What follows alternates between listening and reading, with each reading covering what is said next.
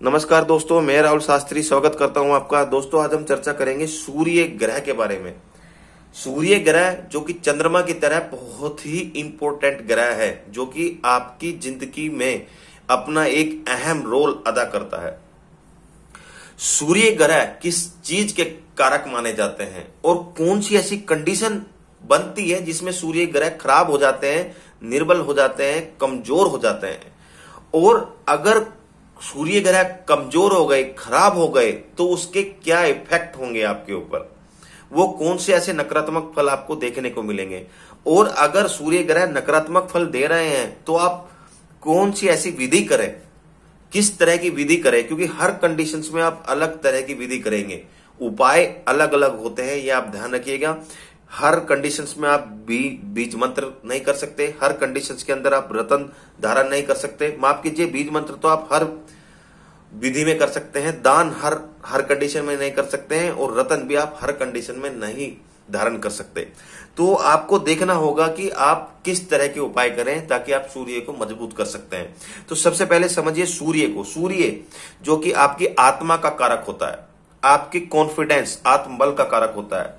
समाज में मान सम्मान पर प्रतिष्ठा का कारक सूर्य होता है। राजा के स्वरूप माना गया है, यानी ग्रह में राजा माना गया है तो राजा जैसी ज़िंदगी देने के लिए कारक ग्रह जो होता है, वो सूर्य होता है। पिता का कारक माना जाता है। सूर्य जो है, पिता के भी कारक माने जाते हैं। राजनीति के क्षेत्र में सूर्य बहुत ज़्यादा अपनी अहम भूमिका निभाते हैं। अगर बीमारी की बात करें तो हड्डियाँ, हृदय, पेट से रिलेटेड दिक्कत, पित्त सीधी आँख, रक्त से रिलेटेड रक्त प्रवाह में बाधा, यानी कोलेस्ट्रॉल से रिलेटेड और सिर दर्द, इन सब चीज़ों, बीमारियों के कारक भी सूर्य ग्रह माने जाते हैं। सरकारी नौकरी के कारक जो ग्रह होते हैं, वो सूर्य होते हैं। ये सरकारी महकमे से आप लाभ मिलेगा, नहीं मिलेगा? सूर्य देव साथ ही साथ एडमिनिस्ट्रेशन और मैनेजमेंट के जो कारक ग्रह होते हैं, वो सूर्य होते हैं। लीडरशिप के इनिशिएटिव जिसकी पावर जो देता है, वो सूर्य देता है। तो देखिए, सूर्य कुंडली के अंदर एक बहुत ही इंपॉर्टेंट ग्रह है। अगर किसी का सूर्य वीक है तो उसमें कॉन्फिडेंस की बहुत कमी होगी। उसमें कॉन्फिडेंस के साथ साथ नृत्य की मैनेजमेंट की बहुत ज़्यादा आपको कमी, अभाव देखने को मिलेगा।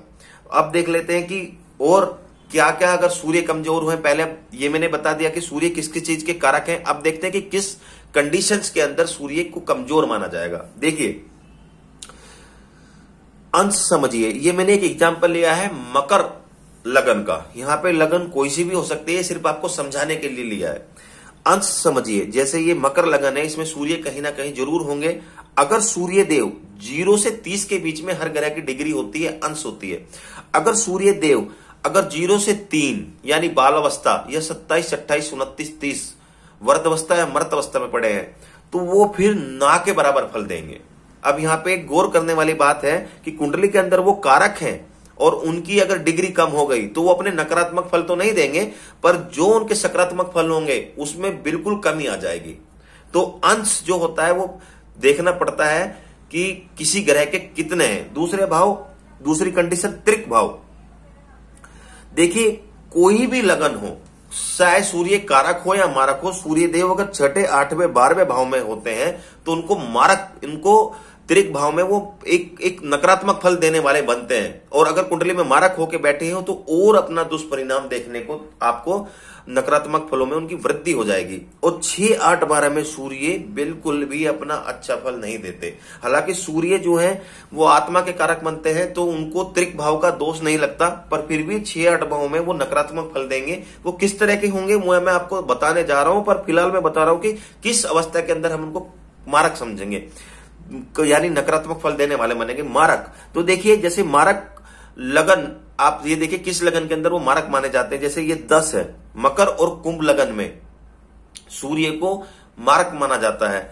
तो देखिए, सूर्य जो है, मकर लगन भी है और सूर्य जो छठे भाव में बैठे जा, बैठे तो प्रबल मारक हो गए हैं यहाँ पे सूर्य देव तीसरा, नीच का।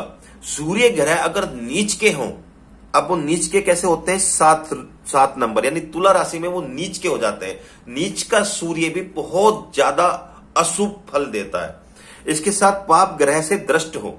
सूर्य कहीं पे भी हो और राहु और शनि की उन पर दृष्टि हो, या केतु की दृष्टि हो, यानी पाप ग्रह की उन पर दृष्टि हो तो भी सूर्य अपने नकारात्मक फल देने को बाध्य हो जाता है। अब क्या क्या ऐसे आपको रिज़ल्ट देखने को मिलेंगे? तो समझिए पहले, इनमें से नीच का ग्रह और त्रिक भाव में अगर सूर्य है, या फिर मारक है और शनि और राहु, यानी पाप ग्रह की दृष्टि उस पर पड़ रही है तो तब वो अपना ज़्यादा नकारात्मक फल देंगे। अगर कुंडली में मारक है, अंश कम है तो वो अपना सकारात्मक फल नहीं देंगे, पर वो कमज़ोर स्थिति में माने जाएँगे। कारक है पाप ग्रह से दृष्ट है तो भी वो अपना शुभ फल नहीं दे पाएँगे। त्रिक भाव में बैठे हैं, नीच के हैं। यानी त्रिक भाव छह, आठ, बारह में बैठे हैं, जब ज़्यादा नकारात्मक फल देंगे, नीच के हैं, तुला राशि में बैठे हैं, जब ज़्यादा बुरा फल देंगे, मारक होके पाप ग्रह दृष्टि, पाप ग्रह की दृष्टि पड़ रही है, जब अपना ज़्यादा नकारात्मक फल देंगे। अब देखिए क्या नकारात्मक फल हो सकता है। सबसे पहले समझिए आप, जो सूर्य है, मान सम्मान का कारक माना जाता है। तो ऐसे आदमी को बहुत ज़्यादा मेहनत करने के बाद में समाज में या अपने कुटुंब के अंदर वो मान सम्मान, वो ख्याति नहीं मिल पाती। नंबर एक। नंबर दो, सूर्य पिता का कारक है। अगर सूर्य की ज़्यादा कंडीशन खराब हुई, ज़्यादा मतलब त्रिक भाव में हुए या नीच के हुए मारक होके पाप ग्रह से दृष्टि हुई, खासतौर से शनि, की उनपे तीसरी दृष्टि, सातवीं दृष्टि या दसवीं दृष्टि हुई, इनकी तीन दृष्टि होती है।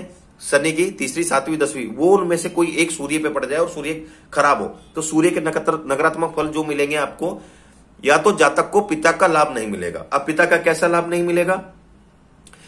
या तो पिता से दूर रहेगा, या पिता से मतभेद होगा मतलब मतभेद के कारण दूर रहेगा, या पिता की तकलीफ़ होगी मतलब पिता को दिक्कत होगी, स्वास्थ्य में खराबी होगी, या स्वास्थ्य के कारण या किसी कारणवश पिता की हो सकता है कि जल्द ही उनका देहांत हो जाए। कुछ इस तरह के कारण बन जाते हैं, पर ज़्यादा यही बनेंगे जब शनि जो सूर्य ज़्यादा रूप से पीड़ित हो। तीसरा, सूर्य अगर खराब है तो जातक के अंदर कॉन्फिडेंस की कमी होती है। वो कुछ भी निर्णय लेने से घबराता है। जातक, क्योंकि सूर्य जो है राजा के कारक माना जाता है तो एक एक एक राजा जैसी ज़िंदगी सब कुछ होने के बाद भी एक राजा जैसी ज़िंदगी नहीं जी पाता। सब कुछ होने के बाद भी। सूर्य अगर आपके मज़बूत है और आप जातक जो राजनीति के क्षेत्र में जाना चाहता हो, या फिर मुखिया, कुछ भी जहाँ पे प्रतिनिधियों का उसको मौका मिले, वहाँ पे उसको बहुत अच्छे फल नहीं मिलते। राजनीति के क्षेत्र में भी अगर कदम रख लेगा तो कुछ कारण बाद उसको फिर वापस आ जाना पड़ेगा। सूर्य जो है गवर्नमेंट नौकरी का भी कारक माना जाता है। तो अगर सूर्य खराब है, छह आठ बारह में बैठा है तो ऐसे जातकों को गवर्नमेंट नौकरी में भी बहुत दिक्कत आती है। या फिर कोई कार्य कर रहे हो, जैसे ठेकेदारी, जहाँ से गवर्नमेंट महकमा ज़रूर, ऐसे कार्य जिसमें गवर्नमेंट महकमा ज़रूर आता हो तो भी वहाँ पे सूर्य आपको प्रॉब्लम दे देगा। जहाँ तक के पैसे फंस जाएँगे, जैसे ठेकेदारी कर रहे हैं ईएमडी फंस जाएगी, या उनकी सिक्योरिटी जब्त हो सकती है, या उनकी पेमेंट में डिले हो जाएँगे, इस तरह की चीज़ें भी देखने को मिलती हैं। साथ ही साथ जिसका सूर्य खराब हो, क्योंकि ये जो है, स्वर्ण को भी जो गोल्ड है उसके भी कारक माने जाते हैं। तो आप देखेंगे जिसका सूर्य खासतौर से नीच का हो या तिरक भाव में बैठ बैठा हो खासतौर से अगर माफ़ कीजिए तुला लगन में वो नीच के हो जाते हैं नीच का हो या तिरक भाव में हो तो ऐसे लोगों के पास जो है सोना नहीं जुड़ पाता। या तो चोरी हो जाता है या किसी ना कारणवश वो खरीद नहीं पाते हैं या उनकी उन, उनके पास जुड़ नहीं पाता या उनको सूट नहीं करता उसके बाद उन्हें दिक्कत होना इस तरह की चीज़ें भी देखी जाती है। साथ ही साथ सूर्य अगर खराब है, खासतौर से अगर चौथे भाव में वो नीच के हैं या तिरक भाव में हुए, ऐसे जातक को हृदय मतलब हार्ट से रिलेटेड दिक्कत हो सकती है। खासतौर से अगर चौथे भाव में बैठा हो या कहीं पे भी अशुभ हो तो हार्ट से रिलेटेड जातक को दिक्कत हो सकती है। छठे या आठवें भाव में बैठे हो तो जातक को सिर में दर्द और आँखों में तकलीफ़ या आँखों में चश्मा, इस तरह की चीज़ें देखी जाती है, क्योंकि सूर्य जो है आँखों के भी कारक माने जाते हैं। तो जातक को किशोर अवस्था में चश्मे लगने के चांसेस बढ़ जाते हैं। साथ ही साथ छह आठ में बैठा गया, छह आठ में बैठा हो सूर्य और पाप ग्रह से दृष्ट हो तो क्योंकि सूर्य जो है ईगो के भी कारक माने जाते हैं तो ऐसा जातक अहंकारी हो सकता है। अपने अहंकार में अपने काम बिगाड़ लेने वाला होगा। छियाठ बारह में बैठ के विटामिन डी की भी कमी कर देता है सूर्यदेव। तो देखिए सूर्य देव कुंडली के अंदर इतने महत्वपूर्ण ग्रह हैं, किसी तरह से मैंने बता दिया किस कंडीशन में वो खराब है। तो आप क्या ऐसी विधि करें कि जिसमें वो आप उनको मज़बूत कर सके? देखिए, कुंडली में अगर सूर्य, कुंडली में कुड़ी, सूर्य अगर कारक है, कारक मतलब अगर मेष लगन है वर्षिक लगन है, यहाँ पे एक लिखा है, आठ लिखा है, या सिंह लगन है, पाँच लिखा है, कर्क लगन है धनु लगन है, नौ लिखा है या बारह लिखा है लगन में, यानी ये लगन है, मीन लगन है तो इनमें सूर्य कारक माने जाते हैं। और वो केंद्र त्रिकोण में हो और उनका अंश कम हो। तो आप ऐसे में मानिक धारण करें। मानिक धारण करना बहुत अच्छा रहेगा। इसमें सूर्य को बल मिल जाएगा और ऐसे जातक को सूर्य के अच्छे परिणाम मिलेंगे। यानी सूर्य से रिलेटेड जिस चीज़ के कारक होते हैं सूर्य देव और जहाँ बैठे हैं, जहाँ दृष्ट दृष्टि कर रहे हैं, उससे रिलेटेड सूर्य फ़ायदा होगा। जैसे सूर्य चौथे भाव में बैठे हैं तो तमाम सुख होगा जातक को और सूर्य जिन चीज़ों के कारक है, उसमें जातक को फ़ायदा होगा। पर किस कंडीशन में? सूर्य अगर कारक है तो ही आप पहनिएगा। पाप ग्रह से दृष्ट है, सूर्य कारक है, या सूर्य का अंश कमज़ोर है, तब आप सूर्य का रतन मानिक पहनेंगे तो आपको अच्छा फ़ायदा मिलेगा। सूर्य त्रिक भाव में बैठे हैं तो ऐसे में अगर कारक है त्रिक भाव में बैठे हैं तो सूर्य का बीज मंत्र करिए, या मारक है तो तब भी बीज मंत्र करिए। मतलब सिंह लगन होके सिंह लगन है और सूर्य खुद छह आठ बारह में बैठ गए तो यहाँ पे उनका उपाय मत करिएगा, उनका बीज मंत्र करिएगा, फ़ायदा मिलेगा। कारक होके छह आठ बारह में बैठे हैं तो बीज मंत्र भी कर सकते हैं, सूर्य के उपाय भी कर सकते हैं। सूर्य के उपाय कैसे करें? देखिए, गुड़ गेहूँ के कारक माने जाते हैं सूर्य देव तो रविवार के दिन गुड़ का और गेहूँ का दान करना बहुत फ़ायदेमंद होगा। साथ ही सूर्य अगर खराब है तो सूर्य को जल देना। सूर्य को रविवार को जल देना या प्रतिदिन जल देना, जल दे के जैसे भी आप जल दें तो जल में से सूर्य को देखें और जो किरणें हैं, उनका लाभ उठाएँ। तो आपको सूर्य देव बहुत अच्छा फल देंगे।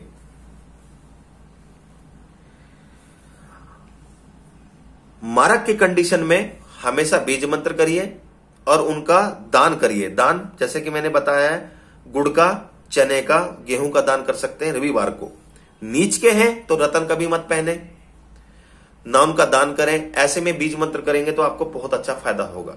पाप ग्रह से दृष्ट है और कारक है तो आप रतन भी पहन सकते हैं, बीज मंत्र भी कर सकते हैं।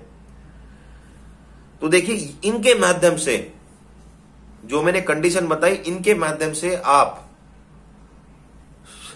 सूर्य को, पर अगर वो कमज़ोर है तो उनको आप प्रबल बना सकते हैं। यानी, अगर वो कारक हैं अच्छा फल नहीं दे पा रहे तो आप उनको मज़बूत करके सकारात्मक बनाएँगे, अच्छे फल देंगे। नकारात्मक है तो उनके नकारात्मक में आपको कमी आ जाएगी। तो इस तरह से, इस कंडीशंस में आप सूर्य देव को मज़बूत कर सकते हैं। दोबारा समझिए, अगर कुंडली के अंदर मारक है, मारक होने के बाद उनके आप दान करिए। कुंडली के अंदर कारक है, कमज़ोर है तो आप बीज मंत्र कर सकते हैं। कंडीशन अच्छी है तो उनका रतन भी धारण कर सकते हैं। तो दोस्तों, आज मैंने आपको सरल तरीके से बताने की कोशिश करी कि किस कंडीशन में सूर्य आपको अच्छे परिणाम देंगे। मेरी वीडियो अगर अच्छी लगी होगी तो लाइक करना चैनल को सब्सक्राइब करना। मत भूलिएगा। धन्यवाद।